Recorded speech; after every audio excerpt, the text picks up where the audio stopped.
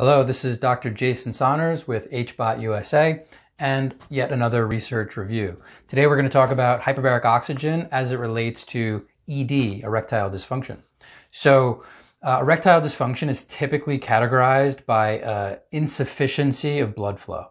And so, even in the medication world, uh, the, the, theoretical improvements that people see with medication would be through increased blood flow um, to the erectile tissue, thereby increasing sexual performance. So the question here becomes does hyperbaric oxygen actually have either a similar effect or even a, increased effect relative to medications as it relates to erectile dysfunction. And so uh, we have two studies here. Uh, one was a prospective study, and the other um, a controlled uh, double-blind study. So in the uh, prospective study, we had, uh, this was back in 2017, we had 50 patients that were all um, evaluated pre and post.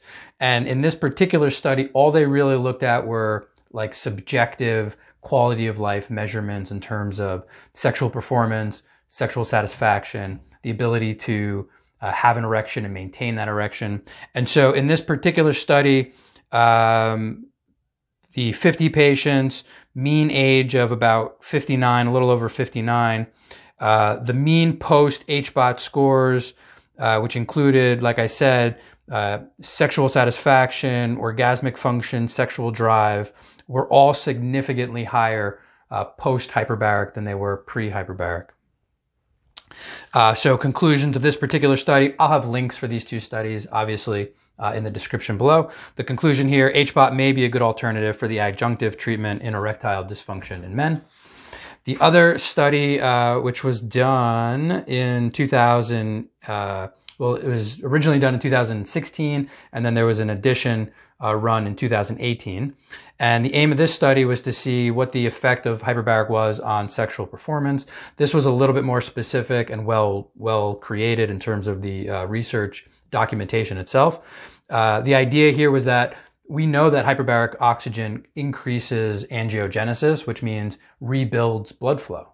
And so if one of the long-term effects or benefits of hyperbaric oxygen is angiogenesis and increased blood flow, increased new neocirculation, does that ultimately have an impact on erectile dysfunction? And so in this particular one, uh, we did, not we, but they did 40 treatments, uh, two atmospheres, 100% oxygen. Uh, and what they did was they did two measurements. They had a subjective questionnaire in terms of similar uh, sexual performance, sexual satisfaction type index, as well as they did MRI perfusion tests to actually measure vascularization uh, pre and post. And so, uh, I mean, here are the basic results. They had uh, HBOT significantly improved all the uh, questionnaire domains, somewhere between about 15 and 88% improvement. Erectile function improved uh, about 88% and uh, 88 or sorry 80% of the patients reported uh, a positive outcome overall in their sexual satisfaction and sexual performance.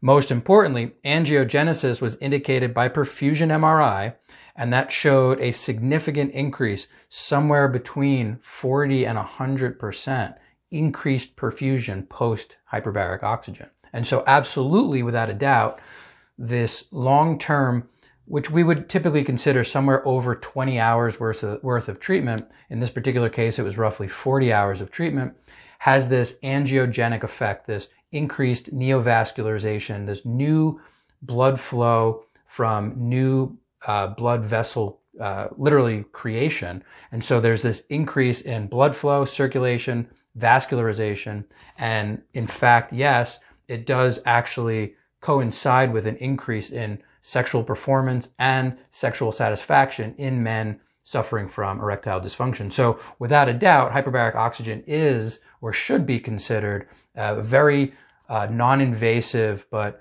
very um, powerful alternative for men with erectile dysfunction. Thanks so much.